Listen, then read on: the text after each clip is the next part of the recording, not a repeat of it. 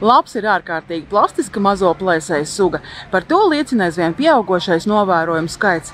Jaunākais gadījums ir piefiksēts Liepājā, kur leģendārās koncerta estrādes pūtvēji rekonstrukcijas būvlaukumā ir nofilmēta lapsa.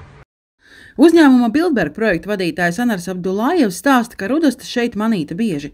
Kamēr celtnieki strādāja, tā itin mierīgi izraka alu būvbedres malā, sanesa no jūras beigtās būtes un ikdienu dodas padzerties no slavenā trīs delfīnu strūklakas.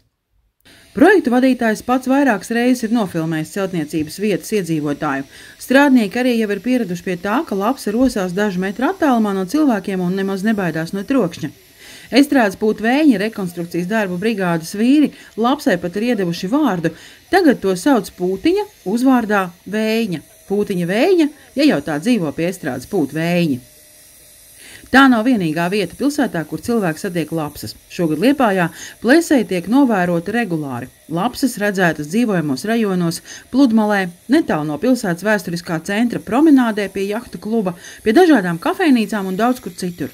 Cilvēki sajūsminās par tikšanos ar labs un piebaro to, aizmirstot, ka tas ir plēsējs. Pat ja tā ir gatava pieņemt piedāvāto pārtiku, lapsa nebūtu nav uzskatām par mīļu mājdzīvnieciņu. Lapsa var uzbrukt bērnam, kaķim un nelielam sunim. Lapsas pārnēsā dažādas slimības, tās izplata kašķi, kas apdraud mājdzīvniekus, un ehinokokozi, kas ir ļoti bīstama arī cilvēkiem. Ehinokokoze ir hroniska, grūti ārstējama parazitāra infekcija. Ārstēšanai var būt nepieciešama pat ķirurģiska iejaukšanās.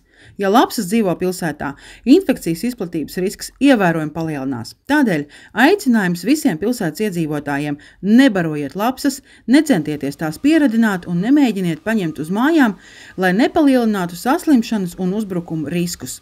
Īpaši paldies vēlamies pateikt par video materiālu no Pūtvēja būvlaukuma Bildberga projektu vadītājam Anaram Abdulājevam un uzņēmuma darbiniekiem.